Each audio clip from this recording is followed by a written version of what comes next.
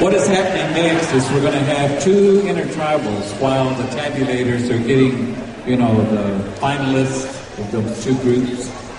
And uh, the two drums.